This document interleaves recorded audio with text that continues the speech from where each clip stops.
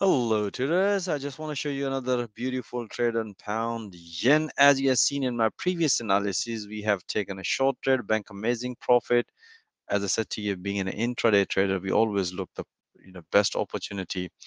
And if you look at the four hour chart this morning, we had this short trade here, bank amazing profit, and after banking some profit, as you can see here in four hour, price nicely respected this level, and that's what I explained to my trader in intraday how to take that opportunity point of interest as you can see here.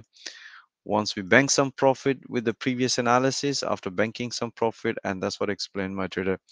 Look if the price gonna break this level short this one long otherwise as as long as the price stay within this structure we don't need to anticipate in this trade.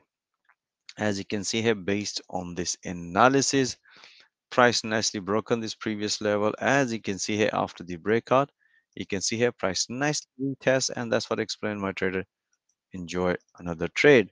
As soon as the price hit to the previous high as you can see here and that's what I explained my trader first target hit enjoy some profit or move your stop loss at the break even as you can see here and that's what I explained my trader. So I hope guys you enjoy this analysis but if you want to see all that price action and all the analysis in real time instead of review most welcome. Join our fast growing trader community have a safe trading and i wish you all the best